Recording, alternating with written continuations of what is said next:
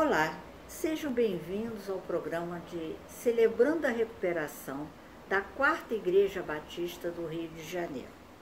Eu sou Ana Cristina, uma filha muito amada por Deus que luta contra procrastinação, ansiedade, controle e baixa autoestima.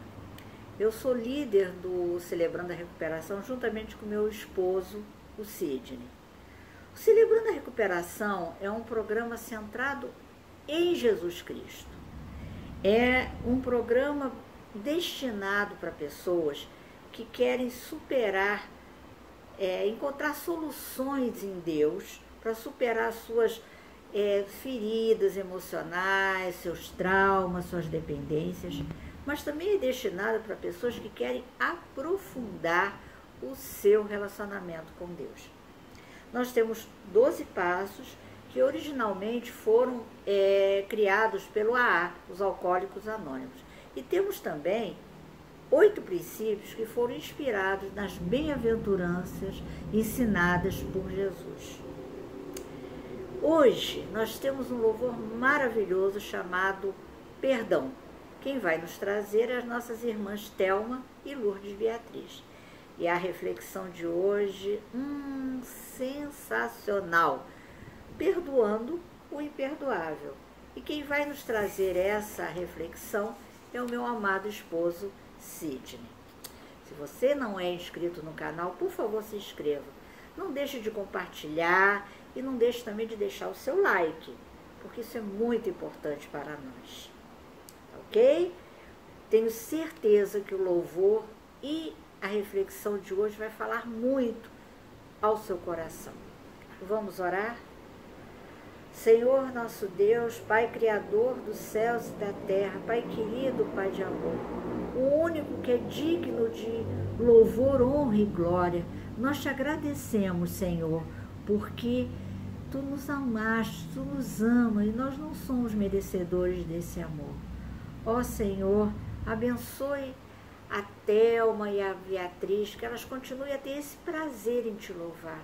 Abençoe também o Sidney, Senhor, que essa palavra que o Senhor trouxe ao seu coração possa também falar ao nosso coração. Te pedimos que o Senhor abençoe a todos que estão nos assistindo nesse momento, Senhor. Nós te pedimos isso em nome de Jesus, nome que é sobre todo nome. Amém.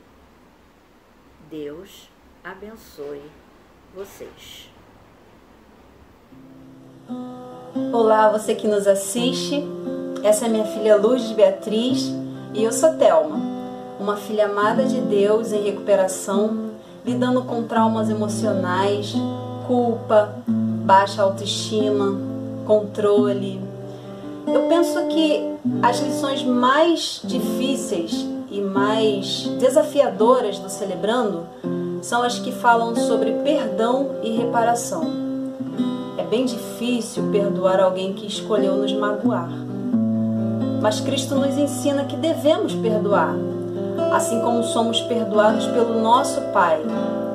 Então, para nós cristãos, perdoar não é uma escolha, perdoar é um dever. Perdoai os nossos pecados, como temos perdoado a quem nos tem ofendido. Perdoai os nossos pecados, como temos perdoado a quem nos tem afligido.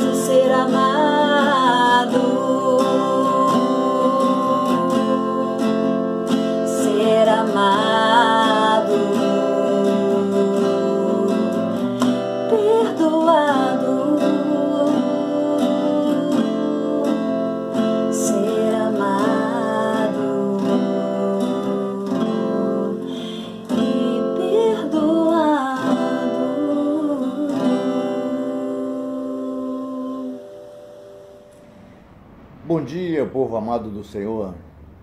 Eu sou Sidney, um filho amado do Senhor, muito amado por Ele, em recuperação, tratando de baixa autoestima, timidez, procrastinação e outros por tratar. Quem me conhece e me vê hoje educado, prestativo, de boas maneiras, não tem ideia do que eu era quando, quando criança. Eu era brigão, pavio curto, não precisava de dois motivos, um só já era o suficiente para eu partir para o confronto. Minha vida na minha cidade pequena do interior era ótima. Amado pela minha família, no colégio eu era um dos três melhores nas notas. Fui muito competitivo. Em função da competição, vieram os desentendimentos juvenis. Não sei quantos conhecem um galináceo chamado garnizé. Em muitas ocasiões, eu fui chamado de galinho garnizé, porque era pequeno e invocado. É, agora vocês imaginam o seguinte: um, um garoto nascido, hoje eu estou com 65 anos, nascido há várias décadas no interior, filho único, quando todas as famílias eram numerosas, né? Então o conceito que se tinha do garoto que era filho único, que era mimado pela mamãe, que era paparicado, sabe aquele garoto de que é tudo numa redoma de vidro? Eu desde muito cedo eu me rebelei contra essa situação. Então eu por isso eu acho que eu fazia todas essas coisas. Eu era brigão, temperamental, namorador na minha na minha na minha pré-adolescência, adolescência. Mas isso tudo eu entendo hoje que isso era uma fuga. Era uma máscara usada para esconder quem realmente eu sou, que é tímido, baixa autoestima. Então hoje eu entendo dessa maneira. Mas naquela época eu me sentia o tal. Eu, quando aprendi a, a, dirigir, muito jovem, a gente aprende na cidade, aprende em jipe, em trator, em caminhonete, né? Final de semana, minha, minha cidade não tinha, não tinha guarda de trânsito. Então eu pegava o carro com meu pai, enchia o carro de meninas e ia dar cavalo de pau. Então, para você ver como eu era, eu era. É, os riscos eram imensos, mas eu era dessa maneira. Mas é, essa é a minha história, um pouco da minha história. Mas eu fiz todo esse preâmbulo para falar de perdão. Uma das muitas desavenças juvenis, numa ocasião, um dos meus coleguinhas né, me disse uma frase de, de desafio e de extrema agressão para aquele coração jovem. Ele me disse: se você for homem, nunca mais fale comigo. Olha como isso doeu, como isso bateu pesado no meu coração. Foi um tiro que eu levei. O nome dele era José Roberto Dutra. O meu orgulho ficou ferido. Não voltei a falar com ele. Meses depois, ele e a família mudaram da minha cidade e nunca mais o vi. Nunca tive oportunidade de falar para ele do meu perdão, embora no meu coração ele já tenha sido perdoado há muito tempo.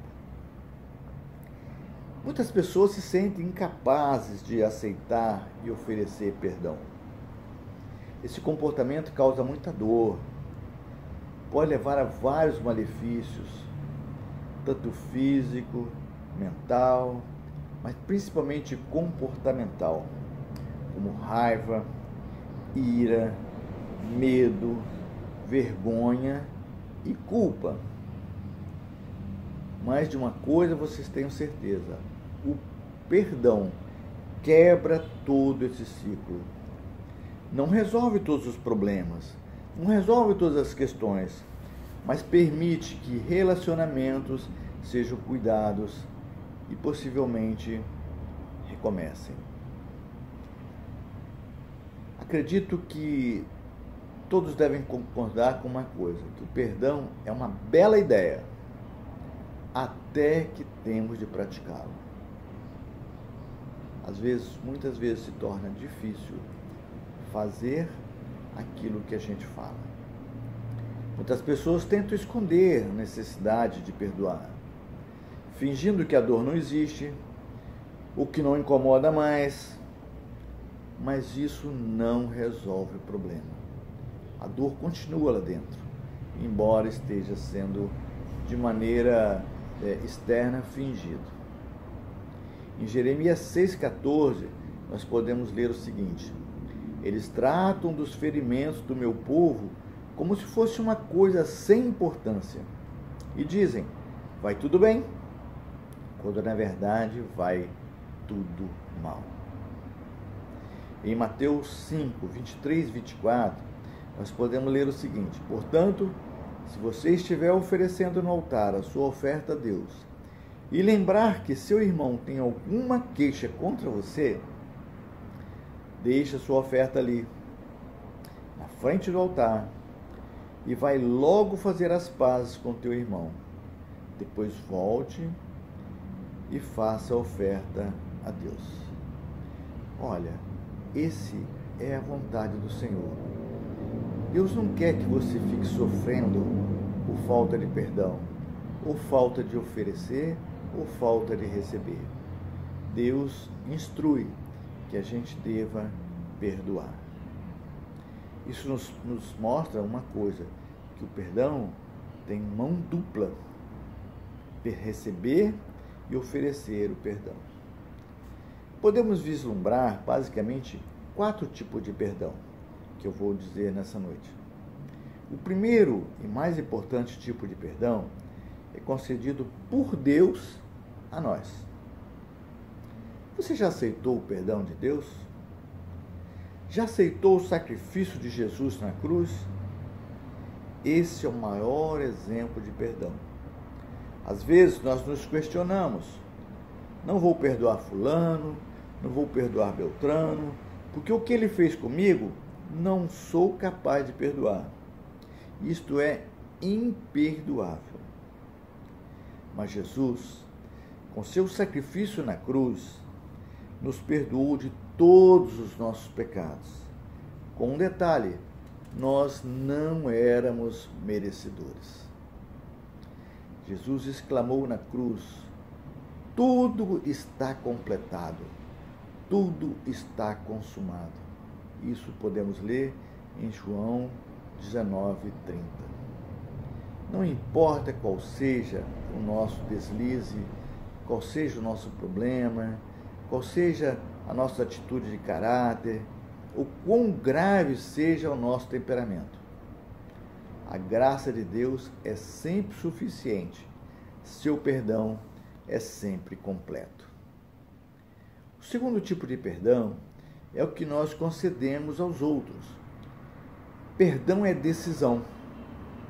É preciso estar disposto a enfrentar o processo. Quem pode, que pode até demorar até que tudo se concretize. Mas não é bem assim que as pessoas pensam. Muitas pessoas pensam que é muito simples. Tá, tudo bem, tá tranquilo, ó, vou te perdoar, tá perdoado. Mas não é bem assim que a coisa acontece. Tem até uma historinha de dois filhos, crentes, né, que estavam brigando e, e a mãe deles disse o seguinte: Olha, se Jesus voltar essa noite, vocês estão em pecado, porque tem que perdoar. Aí o, um deles falou para o outro assim: Tudo bem, olha, eu vou te perdoar, mas se Jesus não voltar essa noite, amanhã vai me pagar. Então, essa é a história do perdão. Perdão é decisão. Você tem que arcar com a consequência de, às vezes, até ter um problema, sofrer, mas você tem que perdoar. Né? Para ser verdadeiramente livre, você tem que abrir mão do seu sofrimento, das feridas, feridas do passado, feridas que os outros causaram você. Você tem que se livrar disso aí. E para isso você tem que abrir mão disso. Você conhece a brincadeira do cabo de guerra? Enquanto as pessoas das, dos dois lados da corda ficam puxando, a guerra continua até que um dos dois lados abre mão de puxar a corda. Quando você perdoa os outros, você está agindo dessa maneira. Você está abrindo mão de puxar aquela corda. Não importa quanto eles continuam a puxar o lado deles. Se você abriu mão da corda do seu lado, a guerra termina. Acabou. Não existe mais aquela guerra. Você abriu mão do seu lado da, da guerra. Mas até abrir mão, você é prisioneiro desta guerra. É assim que acontece. Essa decisão deve ser contínua. Não pode ser uma coisa pontual. Não pode ser uma coisa momentânea. Essa decisão deve ser contínua. Quando Jesus estava falando sobre perdão, Pedro inquiriu: perguntou a ele: Jesus, quantas vezes devemos perdoar? Sete vezes? Porque para o judeu o número sete era o número de perfeição. Então ele perguntou: sete vezes? Que ele já tem achado muito, né? Quando ele pergunta sete vezes, Jesus responde: setenta vezes sete, isto é, indefinidamente, quantas vezes for necessário. Essa é a orientação de Jesus. Isso é que a Bíblia diz. Isso que a palavra de Deus nos diz. Devemos perdoar independentemente do que for e quantas vezes forem necessárias. Em Romanos 12, 17 e 18, podemos ler o seguinte: Não paguem a ninguém o mal com o mal. Procure agir de tal maneira que vocês recebam a aprovação dos outros. No que depender de vocês, façam todo o possível para viver em paz com todas as pessoas. Interessante a conclusão que chegamos. Causar dano põe você abaixo do seu oponente, daquele que você quer causar. Vingar-se de um dano põe você no mesmo nível que ele. Agora, perdoá-lo põe você acima dele. Esta é a conclusão que chegamos. O perdão devolve a nós um amor, autoestima. Mais importante, você se libertará da dor que está te, oprimindo, da dor da culpa e do peso que está carregando. O terceiro tipo de perdão é o nosso a Deus. Nosso perdão a Deus. Nós temos que perdoar a Deus, sim. Não podemos culpar a Deus pelo mal que os outros fazem contra nós. Isto é o livre-arbítrio concedido por Ele, mas não é a vontade dele. Deus não quer que as pessoas nos prejudiquem, mas como Ele deu o livre-arbítrio, pessoas com a sua autossuficiência tentam nos prejudicar. Mas não é essa a vontade do Senhor. A culpa não é do Senhor. Deus não pode pecar e não peca. Sua natureza é marcada pela perfeita santidade em todo e qualquer atributo e ação. Mas ele nos deu livre arbítrio, mas ele quer que amemos, que o amemos por nossa própria escolha. Portanto, toda e qualquer raiva, ira ou revolta contra Deus é indevida, não é procedente. Ele nos dá uma promessa nesse sentido, que está registrado em 1 Pedro 5,10. Mas, depois de sofrerem por um pouco de tempo, o Deus tem por nós um amor sem limite e que chamou vocês para tomarem parte na sua eterna glória. Por estarem unidos com Cristo, Ele mesmo os aperfeiçoará e dará firmeza, força e verdadeira segurança. Esse é o Deus que é perfeito. Se há alguma coisa errada, não é culpa do Senhor, a culpa é sempre nossa. Um outro tipo de perdão, que é o quarto e último que vou classificar, é o perdão a nós mesmos. Às vezes se torna difícil torna o mais difícil perdoar a nós mesmos. Você já se perdoou? Você até perdoa os outros e aceita o perdão de Deus, mas encontra muita dificuldade de se perdoar por coisas ocorridas no seu passado. Muitas vezes por culpa, vergonha, pode sentir imperdoável, mas não é essa a vontade de Deus para sua vida. Não importa se você se sente desprezado e sem valor, Deus o ama independente do que você sente. Ele ama você da maneira como você é. Não importa o que você sente sobre si mesmo. Isso não muda em nada o amor de Deus por você. Em Isaías 1, 18 e 19, podemos ler o seguinte: Diz o Senhor Ainda que os vossos pecados sejam como a escarlata, eles se tornarão brancos como a neve. Ainda que sejam vermelhos como o carmesim, se tornarão branco como a lã. Se quisermos, se quiserdes e ouvirdes, comereis o bem desta terra. Esta é a vontade do Senhor. E o amor dele é tanto que ele nos deu um, seu único filho, Jesus Cristo, para morrer em nosso lugar, mesmo nós não sendo merecedores. E o sangue de Jesus, vertido naquela cruz, nos lava de todos os nossos pecados. Se o próprio Deus pode perdoá-lo, como você pode negar o perdão a você mesmo? Certa vez um mestre da lei perguntou a Jesus: Mestre, qual o maior mandamento? Jesus respondeu: Ame o Senhor seu Deus de todo o seu coração, com toda a sua alma e com toda a sua mente. Esse é o maior e mais importante mandamento. O segundo mais importante e semelhante a este é: ame o teu próximo como a ti mesmo. Agora podemos dizer: não sou perfeito, mas Deus e eu estamos juntos. Podemos dizer: Ele me perdoou,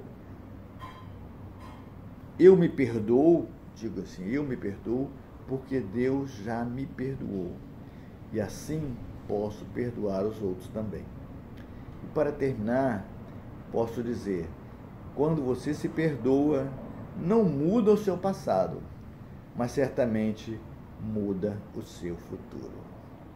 E todos tenham a paz de Jesus no seu coração. Amém.